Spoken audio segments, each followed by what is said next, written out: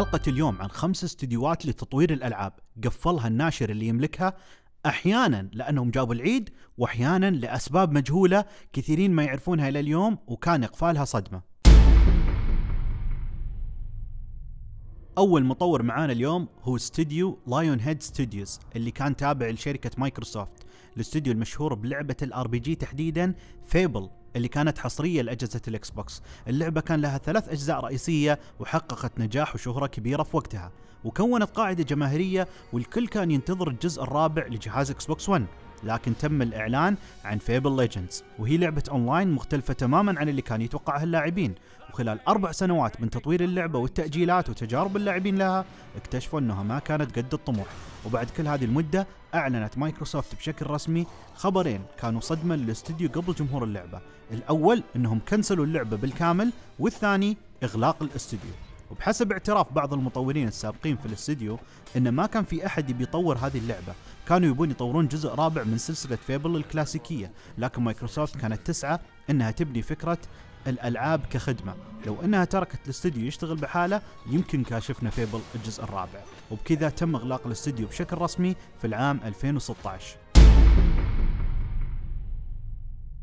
ثاني استوديو معانا هو Clover Studio أحد استديوهات كابكوم وتم تأسيسه عام 2004 كان يضم ثلاثة من أفضل المطورين في الصناعة وهم هيديكي كاميا وشينجي ميكامي وأتسوشي إينابا. الاستوديو هذا طلع لنا تحف فنية في فترة قصيرة مثل لعبة Viewtiful Joe ومثل أيضا Okami. لكن للأسف جودتها ما كانت كافية أن تخلي الاستوديو يكمل وما يتقفل. الألعاب ما باعت بشكل كافي. لكن للأسف جودة هذه الألعاب ما شفعت لها إنها تخلي الاستديو يكمل في كابكوم. الألعاب ما باعت بشكل كافي وكابكوم ما كانت متقبلة للأفكار الجديدة وفي مطورين كثير طلعوا من الاستديو أسباب كثيرة أدت إلى أن كابكوم اتخذت القرار النهائي وقفلت هذا الاستديو إلى الأبد في العام 2007 ثالث استوديو معنا اليوم هو Bizarre Creations تأسس عام 1988 واشتهر بألعاب السيارات. منها Metropolis Street Racer و Project Gotham Racing واللعبة الأركيدية Geometry Wars وغيرها الكثير. في 2007 تم الاستحواذ على الاستديو من قبل شركة اكتيفيجن وآخر لعبتين هم Blur و James Bond 007 Blood Stone وما حققوا نجاح كبير. بحسب شركة اكتيفيجن أن الاستديو فقد إبداعه وسحره. وما صار مثل أول لكن أحد الإداريين في الاستوديو ذكر أن الاستوديو بعد الاستحواذ ما صار عنده أي تحكم بأي لعبة. وصار بس يطور لعبة عشان يملي فراغ في جدول السنة. وإن شركة اكتيفيجن تتدخل في كل شيء من شغله ولهذا السبب تم إغلاق الاستوديو في العام 2011 الاستوديو الرابع هو Pandemic Studios تأسس عام 1998 هو أحد الاستديوهات اللي قدمت ألعاب ممتازة وجيدة في السابق مثل Star Wars Battlefront 2 و Mercenaries Playground of Destruction وغيرها. في عام 2008 أعلنت شركة EA أنها استحوذت على الاستديو لكن فجأة وفي بداية عام 2009 تم إغلاق مكتب الاستديو وفي نهاية نفس السنة تم إقالة 228 موظف من الاستديو والإعلان بشكل رسمي إغلاق الاستديو للأبد.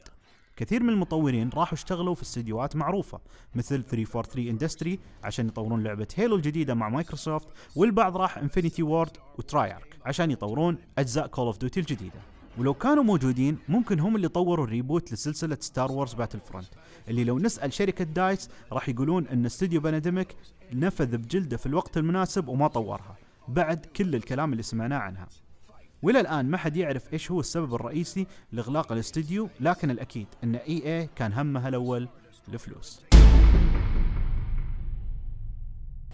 آخر استوديو هو Visceral Games تأسس عام 1998 من قبل شركة EA الاستديو طور ألعاب كثيرة لكنه تميز بلعبة الرعب Dead Space الاستديو بدأت مشاكله بعد الفشل التجاري للجزء الثالث من لعبة Dead Space اللعبة كانت جيدة من ناحية التقييم لكن الجمهور ما تقبلها بسبب التغيير في اللعبة.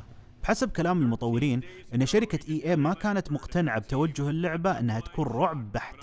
وتبيها تكون موجهة لجمهور أكثر وأوسع. وبناء على ذلك أجبروا المطورين أنهم يخلون اللعبة سريعة وأكشنية. بعد فشل الجزء الثالث قررت EA تعطي مهمة تطوير لعبة Battlefield Hardline إلى هذا الاستوديو. نوع من الألعاب ما عنده أي خبرة في تطويره ولا أي اهتمام. وهنا كانت الشرارة الثانية بالفشل.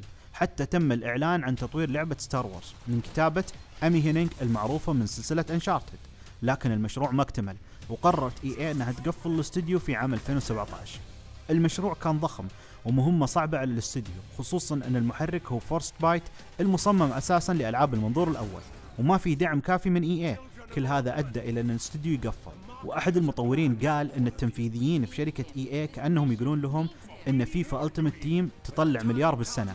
تقدرون تسوون أنتم نفس الشيء مع الألعاب الثانية؟